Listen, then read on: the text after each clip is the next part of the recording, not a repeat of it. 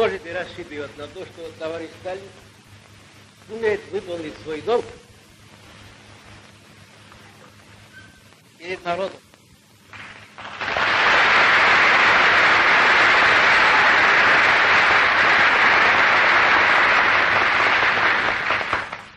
Перед рабочим классом.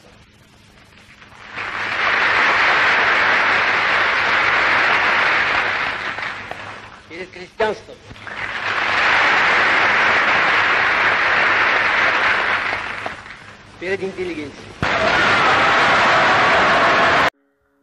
5 марта 1953 года обычный весенний день оказался для граждан советского народа очень холодным и трагическим. И дело здесь вовсе не в погоде. В 21.50 скончался Иосиф Виссарионович Сталин, вождь и учитель, царь и бог, партийный и государственный лидер – генералиссимус Советского Союза, отец народов и хозяин. Последние годы его жизни были омрачены старостью, болезнями и усилением подозрительности. Сталин, прошедший множество ссылок и тюрем, переживший две революции, гражданскую войну, политическую молотильню 20-30-х годов и Великую Отечественную, человек, который провел немало политических чисток и репрессий к своим 73 годам, был сильно постаревшим и больным человеком. Известно, что после войны он пережил несколько инсультов.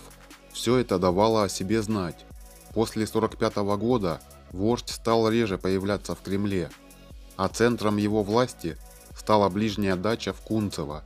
После 49 -го года отец народов почти не выступал перед публикой, из-за чего практически не сохранилось его снимков той поры. Последним его появлением перед обществом стало выступление на 19-м съезде партии в октябре 1952 года. Тогда его речь продлилась всего несколько минут. Однако нельзя сказать, что Сталин в это время не управлял страной отнюдь. Все дела, как и раньше, были сосредоточены на нем, только все чаще они решались на ближней даче, а его подозрительность только усилили борьбу с врагами под конец его правления было развернуто несколько крупных дел, одно из которых – дело врачей, начатое в 1952 году, когда были арестованы все кремлевские медики, лечившие в том числе самого Сталина. В эти же годы круг общения и управления страной тоже изменился.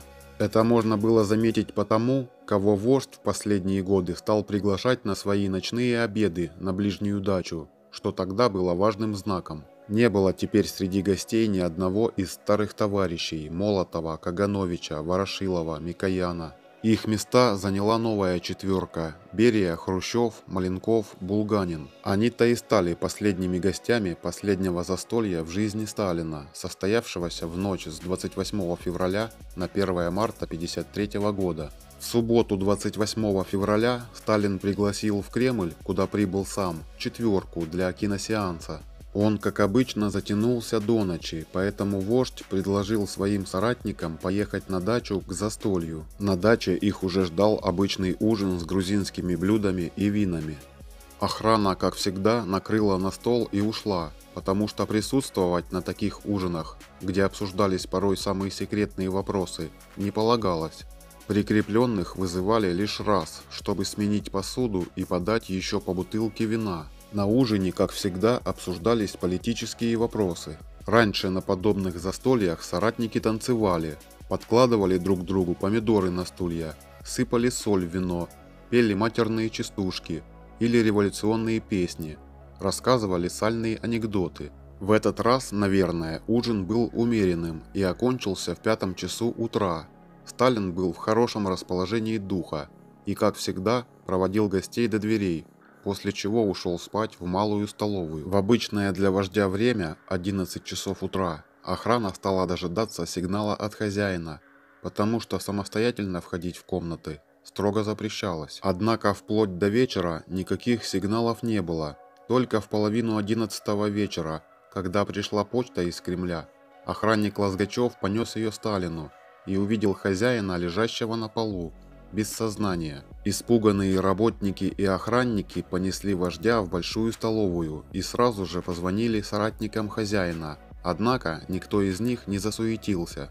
Только в 3 часа ночи на дачу прибыли Берия и Маленков, который снял скрипевшие по полу ботинки и босой подошел к Сталину. Они посмотрели на лежавшего вождя, отругали охрану за то, что они зря побеспокоили их, потому что товарищ Сталин спокойно спит, и уехали. И только утром, около 8 часов утра, на дачу приехал Хрущев, врачи, дочь Светлана и сын Василий, который был пьян. Здесь-то ирония истории сыграла по полной.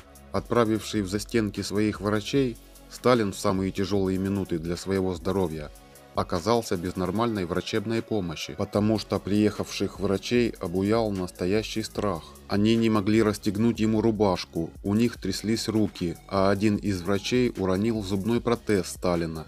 Лечили академики хозяина какими-то препаратами искусственного дыхания, пиявками и другими лекарствами. Сталин умирал из-за страха, который был создан им самим для его окружающих.